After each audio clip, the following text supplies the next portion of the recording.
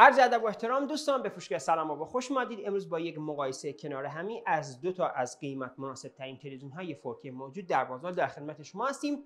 در این سمت تلویزیون سونی X77L رو داریم سال ساخت 2023 که در واقع این تلویزیون دوستان قیمت مناسب ترین تلویزیون LED 4K شرکت سونی هستش با پنل ADS و در سمت دیگر هم تلویزیون سامسونگ کریستالی سری 7 رو داریم مدل 37000 که این تلویزیون هم دوستان قیمت مناسب ترین تلویزیون LED شرکت سامسونگ هستش در سال 2023 دو تا تلویزیون با دو تا پنل مختلف که یکی پنل VA یکی پنل ADS داره. و امروز می‌خوایم کیفیت تصویر این دو دستگاه رو در یک تصویر مشترک با هم دیگه مقایسه کنیم. در محتوای SDR, HDR، حالت بازی همچنین حالت فیلم و ببینیم که کدوم یکی از این تلویزیون ها ارزش خرید بیشتری داره. حال حاضر در آبان ماه 1402 تلویزیون سونی X77L در سایز 55 اینچ قیمتش 4 5 میلیون تومان بیشتر از مدل 37000 برند سامسونگ هستش. با ما همراه باشید با مقایسه کیفیت تصویر این دو تلویزیون.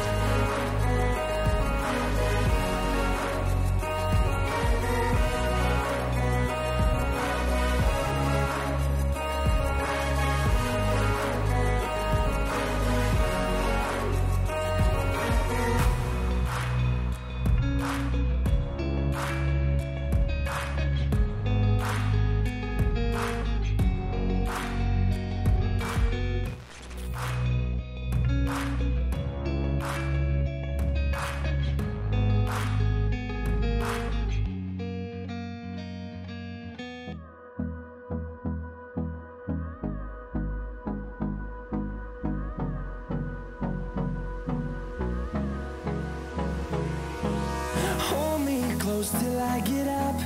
Time is barely on our side. I don't wanna waste what's left.